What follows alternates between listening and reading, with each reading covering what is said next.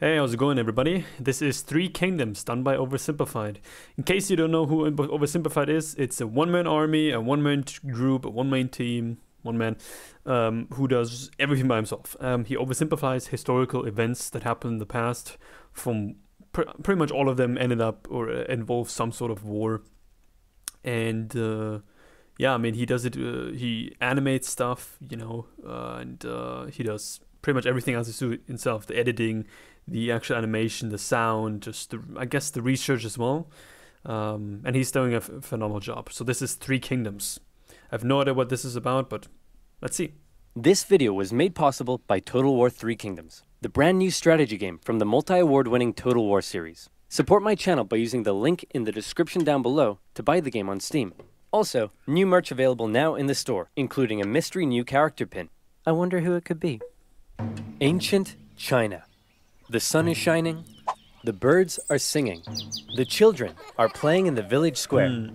What a wonderful time to be alive! Hey, the Yellow River flooded again and destroyed all your crops. And also, we're being raided by nomadic tribesmen. And also, this period of Chinese history may be entirely mythical, meaning you may not even exist. Oh. Well, that would certainly explain the laser eyes.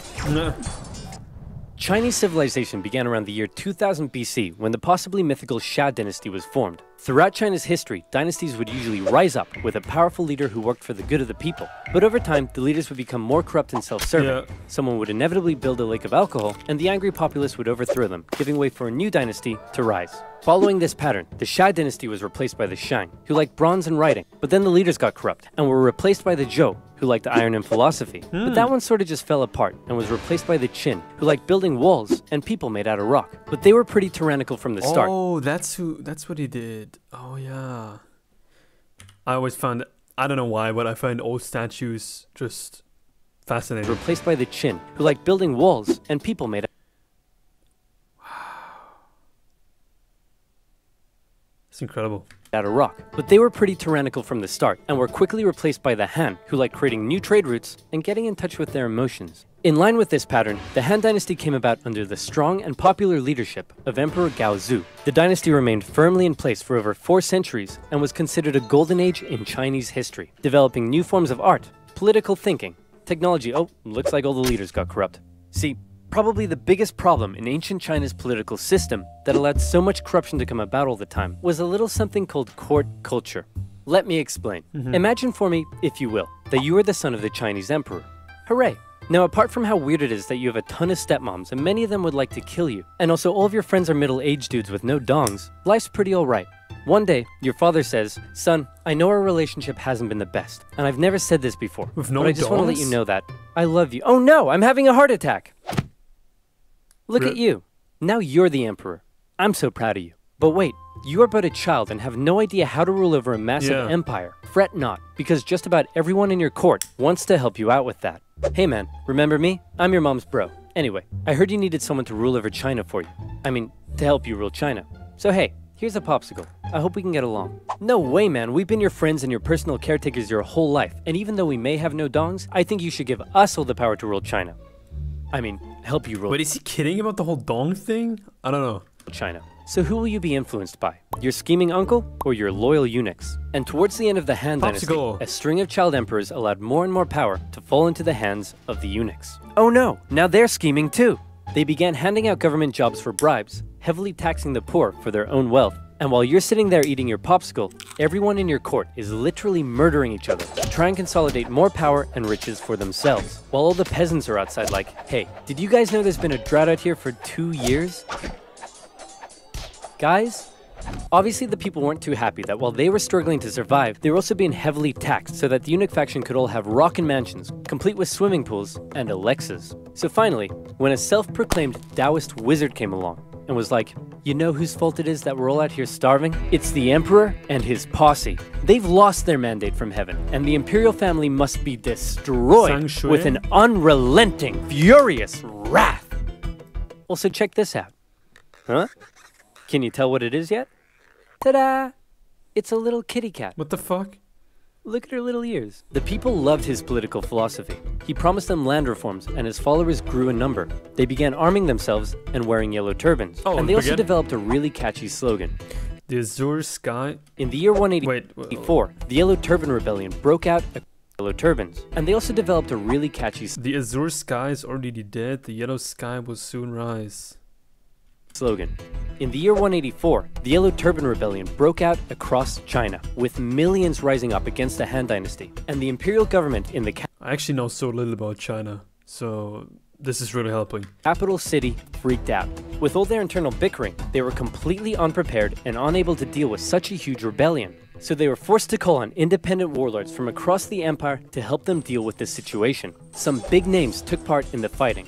I'm talking the likes of the great Cao Cao, the tyrannical Dong Zhou, Liu Bei, Sun Jian, and many, many other Chinese names mm-hmm. I'm definitely not pronouncing correctly. These warlords crushed the rebellion in their own respective regions, and with casualties in the millions, the Han Dynasty breathed a huge sigh of relief. But what they didn't realize is that by relying on all the warlords and their armies, they had essentially diminished their own central control over the empire. And many of the warlords now held the power to act almost completely independently and rule over their Oh. own local regions themselves.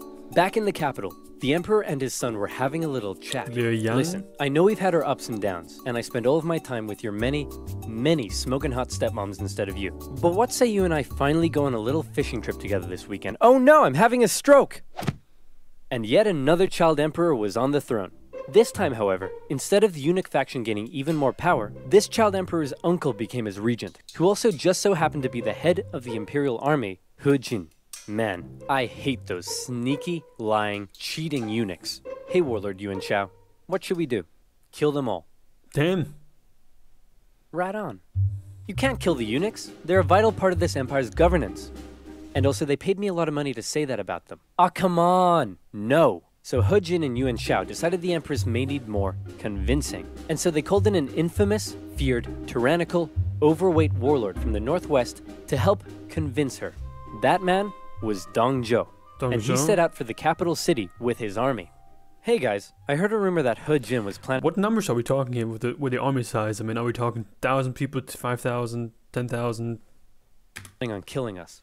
Then why don't we kill him first? And so it was. They lured him to the palace with a forged letter from his sister, and when he got there, they lobbed off his head. Wow. Kill them all. Imperial forces stormed the palace, and the eunuchs were all massacred. The peasants, who were still Oh, it's it's Hitler. It's Hitler's dad. In the back. suffering from drought and starvation, saw what was going on and began to riot. The emperor and his brother were forced to flee the city, which was now in flames, and the feared, nasty, tyrannical, bloated Dong Zhou had just arrived. He found the emperor and his brother wandering the hills outside Wait, I thought he was dead.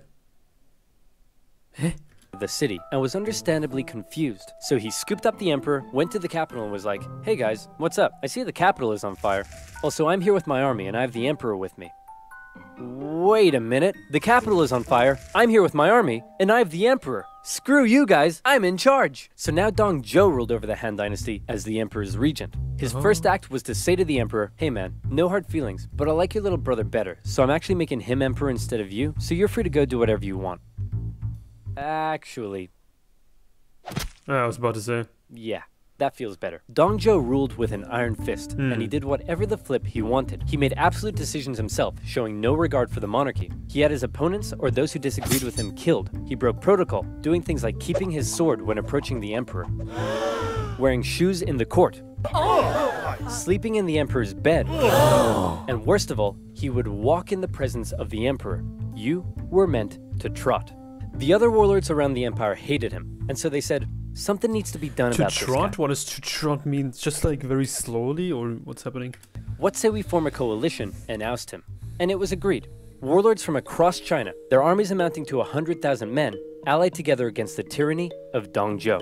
Yuan Shao's coalition consisted of some of the nation's most capable leaders, including his half brother, Yuan Shu, the great Cao Cao, and Sun Jian. But Dong Zhou had an ace up his sleeve his protege and adopted son, one of the most skilled and feared warriors in all of China. It's Lu Bu. This guy was a beast of a man. He never lost a duel, and no other warlord dared challenge him to one. He was also famous for betraying just about every warlord he ever fought for, something that Dong Zhou didn't seem too concerned about. The coalition attacked Dong Zhou in Luoyang, and in particular, Sun Jian's forces inflicted a heavy defeat against him, and he was forced to flee to the city of Chang'an. After this initial success, however, the war entered into a stalemate. The warlords in the coalition realized it was going nowhere, and also they all secretly hated each other. So Mhm. they all went home. Dong Zhou I mean, even if they had, even if they were to defeat him, they're not gonna, they're not gonna agree on who's gonna become the, you know, the emperor next or who's gonna be in charge next.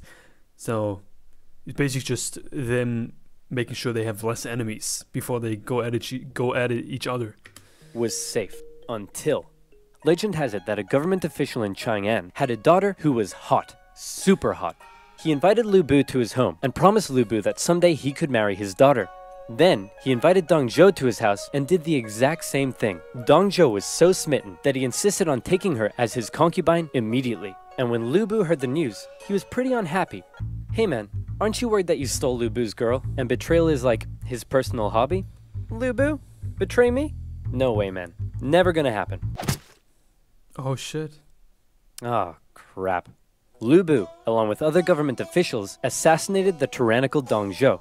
Then they left his body burning in the streets. Some sources say he was so fat and oily, he kept on burning for days. Nice. So with Dong Zhou dead, and the power of the Han government essentially decimated, China was left with a huge power gap, and a ton of warlords who all slept Yeah. soundly at night dreaming of being the one to fill it. Here we enter into a crazy and chaotic period of civil war all across China, with so many people, so much betrayal, so much intricacy, it makes Game of Thrones look like a Dr. Seuss publication. But just to give you an idea of how crazy and chaotic it was, see if you're able to keep up with this. Are you ready? I've actually never watched Game of Thrones, believe it or not. Ready? Here we go. Here's a rough map of the warlords throughout the Han Dynasty at the time. Half brothers Yuan Shao and Yuan Shu were both in a power struggle for who would become the figurehead of their family. Yuan Shu made alliances with warlords in the north, along with Sun Jian, the guy who defeated Dong Zhou. Yuan Shao also made alliances with Liu Biao in the south and Cao Cao, who was an amazing strategist and general. All of these warlords began fighting each other. Cao Cao began building his own strength by subjugating nearby remnants of the Yellow Turban Rebellion into his own forces. Down south, things weren't going so well for Sun Jian, as he was killed in an ambush, so Sun Sun Sun Ce took over. Then, Yuan Shu got pushed back to the river Huai, so he ordered Sun Ce to take the territory of warlord Lu Kang. Then Sun Ce went off to capture territories in the east for himself. Cao Cao's family lived in this province over here. One day, they were murdered. Oh no, Cao Cao held the province's governor responsible, and so he launched a cruel invasion in which he pillaged cities and murdered over a hundred thousand civilians. Wow. The governor sent out a call for help, and a very popular, likable warlord by the name of Liu Bei came to his aid. However, while Cao Cao was away fighting, a rebellion was staged against him in his home province by none other than it's Lu. Bu. Cao Cao rushed home and defeated Lu Bu, who fled to the east, which by now had been inherited by Liu Bei. Then Lu Bu, surprise surprise, launched a rebellion against Liu Bei, who fled to Cao Cao. Together, Cao Cao and Liu Bei would go on to invade and defeat Lu Bu. Lu Bu offered to join Cao Cao, and Cao Cao considered the offer. But his advisors were like, no way man, this guy's betrayed literally everyone he ever worked for. And so Boohoo, Lu Bu, was executed. Next, Cao Cao convinced the emperor to move in with him. Now he's in control of the Han government, something that made his allies very jealous. Yeah. Yuan Shu, out of nowhere, decides to declare himself emperor of the new Zhang dynasty. Nobody liked that. His allies cut ties with him. The imperial government ordered everyone to kill him. He tried to flee to his brother Yuan Shao, but died of illness on the way. Sun Ce took over his Kinda- territory then got strange move. assassinated. So his brother, Sun Quan, took over. Liu Bei turned on Cao Cao, but got obliterated and was forced to flee south.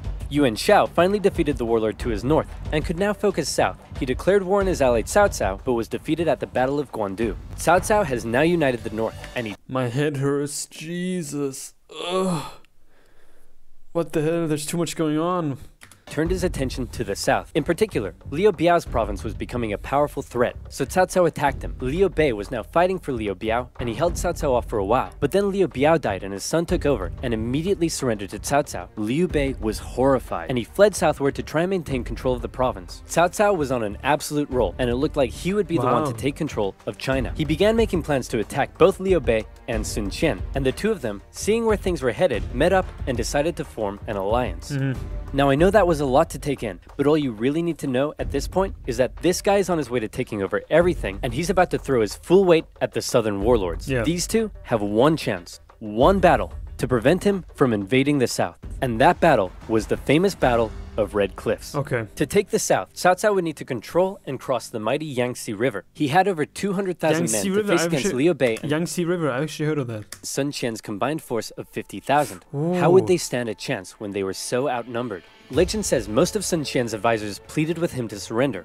but then he smashed up a table and they all backed down. Luckily, Cao Cao's forces were ravaged by disease and exhaustion, and his northern soldiers weren't too comfortable on ships. So when Cao Cao sailed down the river and the two sides met for an initial skirmish at Wulin, Cao Cao was unable to inflict a defeat against the allies. Then one of Sun Quan's men came up with a very sneaky plan. He sent Cao Cao a letter pretending that he and others wanted to defect to his side and offered to bring him some of Liu Bei and Sun Quan's finest ships. Little did Cao Cao know, however, that those, those ships were full of flammable reeds. Yeah, Jesus, wow. As they approached his I mean, you got to come up with some sort of plan, you know, when you when you're that outnumbered. fleet, they were set alight and destroyed his ships and camp. Seeing the situation as hopeless, Cao ordered a difficult retreat through the rain and marshlands, during which more of his men fell to illness and disease. The underdog Yeah, but uh, how do you even navigate the entire time? That's the thing. Like, Jesus. Dogs had won, and Cao would never again have another chance to take the south. Following that, the three warlords took some time to finish off some smaller competitors in their own regions, and by the year 214, China looked a little bit like this. Wow. Cao Cao continued to try to penetrate the southern regions, but had no success, and even lost the Hanzhong region to Liu Bei in 217. The former allies eventually fell out over who should own this territory here, with Sun Quan coming out on top. In 220, Cao Cao died of a head disease and was replaced by his son, Cao Pi. Cao Pi convinced the Emperor of Han to abdicate and then proclaimed himself the Emperor of the new state of Wei. Liu Bei followed suit, declaring himself the true Emperor of Shu Han. And a few years later, Sun Quan joined in the fun and declared himself Emperor of Wu. And so now you have a number of kingdoms in China. How many? Count them. One, two, three.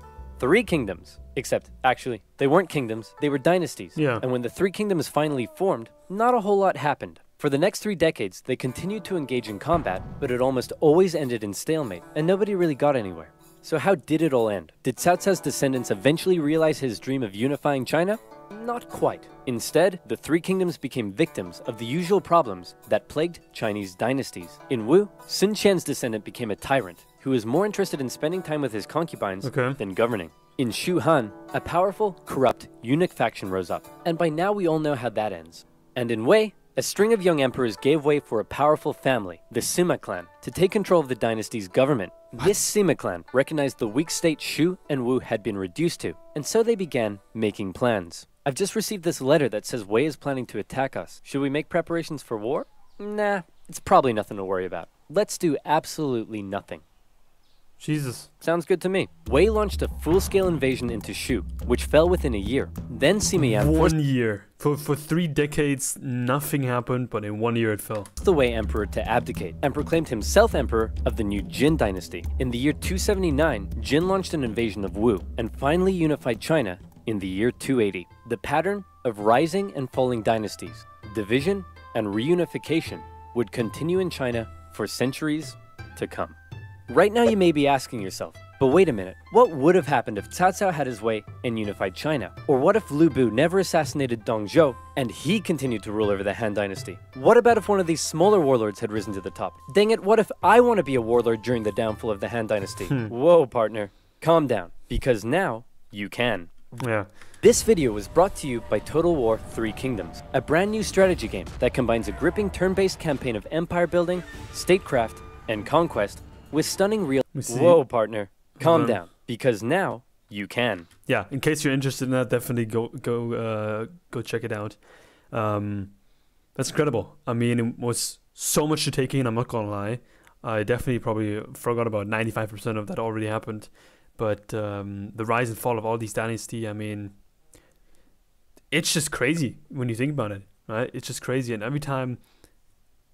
So what? Whenever they took on took over something, what they just killed everyone, or did they just annex it and then say, okay, now you got to work for us? But like, what exactly happened? The time, like, you got to ask yourself. I mean, but that one massacre, where hundred thousand people died, that is. Jesus, wow! I definitely learned a lot. That's for sure. Um, I can't wait to watch the other two videos that I haven't seen so far about Oversimplified. Who here else? Who else likes Oversimplified? It's props to him. Props to him. He puts in so much work. You can definitely see it.